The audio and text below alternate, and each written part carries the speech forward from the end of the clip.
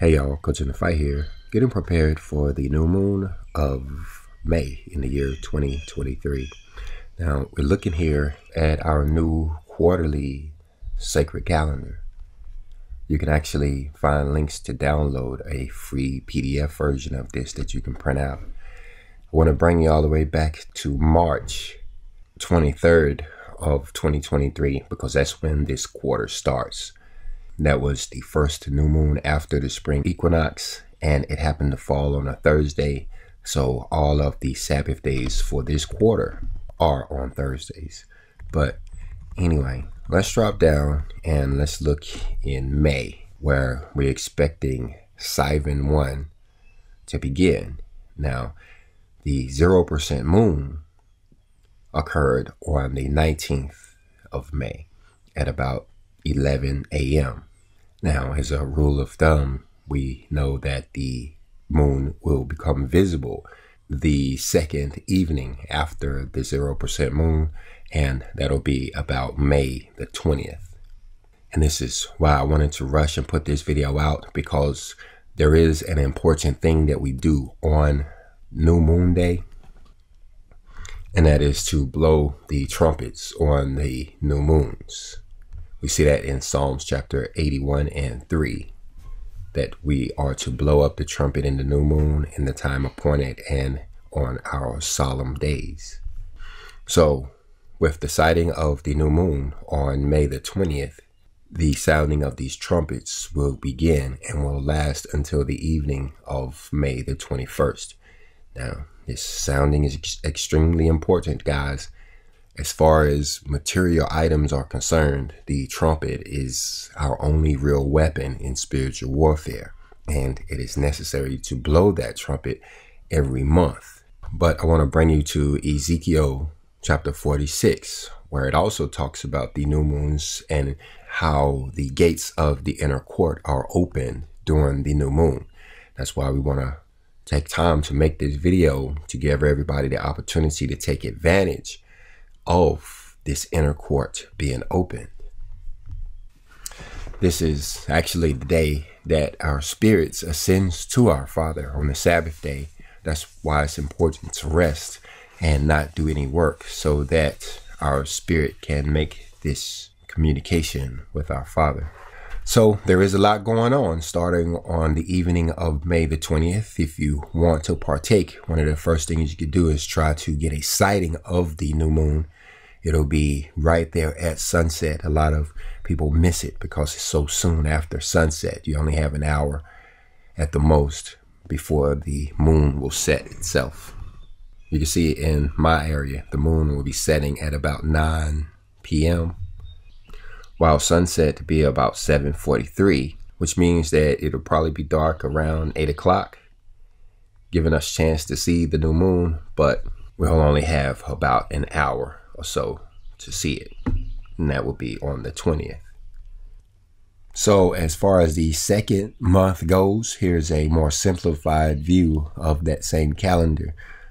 The first day of the month will be the 21st, which happens to be a Sunday.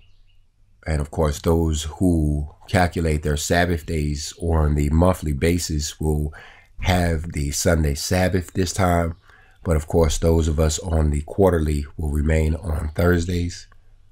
The major holidays of this period will be around June the 20th, which will be First Pentecost. Those who were able to keep the Passover in the first month will celebrate Pentecost on or around June the 2nd. Of course, that will be dependent on the verification of the new moon on the 20th.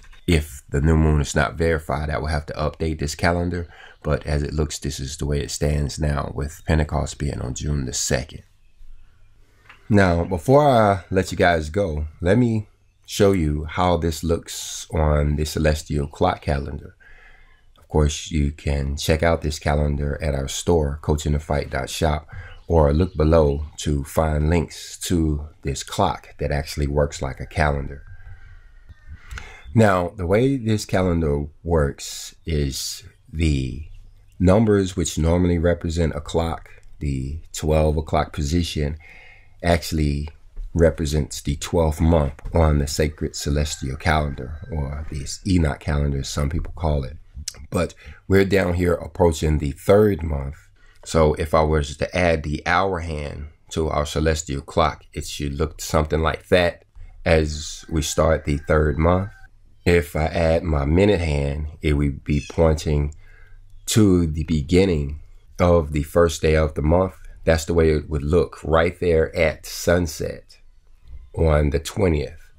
If we wait to after the verification on the following morning, the hand will be closer to the halfway position. And if we wait to the following evening, the 21st, we will make sure that the hand of the clock is set to the first day. That will be the 21st of May.